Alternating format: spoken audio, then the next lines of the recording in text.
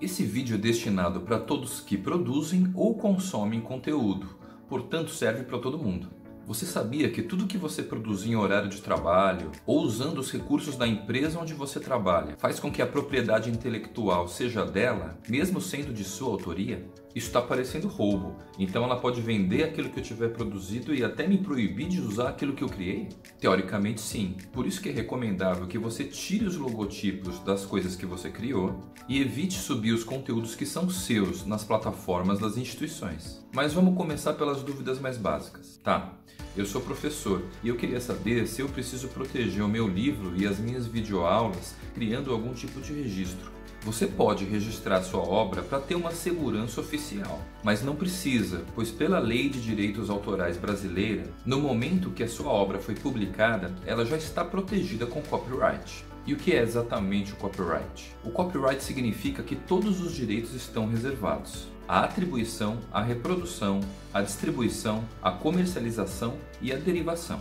Mas eu já contei no último vídeo como surgiu essa história. Mas eu não queria que as pessoas ficassem impedidas de usar e fazer cópias da minha obra. Como eu faço para tirar o copyright para deixar minha obra ser usada livremente? Não dá para fazer isso. Uma obra entra em domínio público somente após a morte do autor. Por exemplo, uma composição de música aqui no Brasil vai entrar em domínio público somente depois de 70 anos da morte do autor a gente deveria criar alguma maneira para flexibilizar a licença copyright. Por isso que foram criadas as licenças Creative Commons. Enquanto o copyright diz que todos os direitos estão reservados, as licenças Creative Commons reservam somente alguns direitos. Então, depois que eu colocar as licenças Creative Commons, as minhas obras vão ficar protegidas? A licença não é registro, ela não serve para te dar proteção jurídica, mas ela vai ser útil para comunicar para as pessoas o que elas podem fazer com a sua obra. É, às vezes eu fico com receio de usar alguns conteúdos para as minhas aulas, por exemplo, textos de sites, fotos e vídeos. Eu fico em dúvida por não saber qual é a intenção das pessoas que criaram esse conteúdo, se eu posso fazer uma cópia para mim mesmo, por exemplo. Além de facilitar a comunicação, as licenças Creative Commons trazem um incentivo à produção de conteúdo aberto e compartilhado, e ajuda a formar uma comunidade de voluntários que produzem conteúdo livremente. E é assim que funciona a Wikipedia e também o sistema operacional Linux, que também foram assuntos do último vídeo. Então, como é que eu faço para aplicar uma licença Creative Commons mais aberta possível? A licença de atribuição comunica para as pessoas que elas podem fazer o que quiser com a sua obra, contanto que façam referência ao autor dela. E se não quiser colocar o meu nome na obra, deixando ela anônima? Não é possível aplicar uma licença Creative Commons sem atribuição. Se ninguém se responsabilizar pela obra, deixando ela sem nome, pode ser que apareça uma pessoa mal intencionada que queira assumir essa obra como sendo dela e proíba o acesso dos outros, inclusive de você.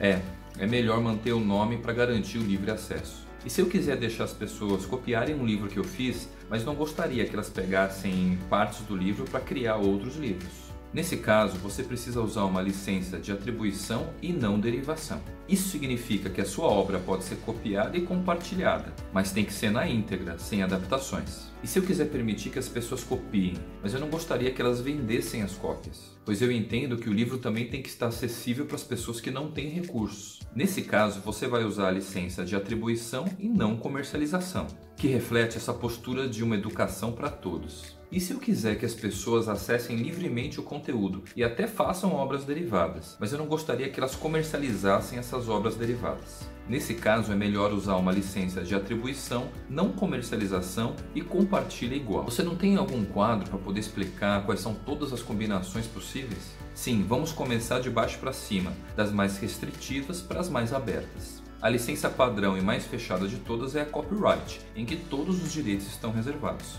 Daí por diante, a gente tem as licenças que permitem o compartilhamento, depois as que permitem o compartilhamento e também a derivação, e por último, aquelas que permitem o compartilhamento, a derivação e também a venda. A licença que sinaliza somente a atribuição é aquela que é recomendada pelo Creative Commons, pois está dentro daquilo que eles defendem, que é a cultura livre. Por exemplo, o próprio YouTube permite que você crie vídeos usando as licenças padrão ou as licenças Creative Commons de atribuição. Também eu vou deixar um link para esse site do Creative Commons na descrição, que explica como você pode criar sua licença. Por exemplo, eu quero permitir que as pessoas adaptem o meu conteúdo, mas não quero deixar que elas façam uso comercial desse trabalho. Então a licença selecionada foi de atribuição, não comercial e compartilha igual. E aí você pode copiar e colar a figura e o texto que descreve a licença. Na descrição desse vídeo eu vou compartilhar com vocês como funcionam todos os detalhes das licenças Creative Commons. Compartilhe esse vídeo com as pessoas que você conhece que são produtoras de conteúdo.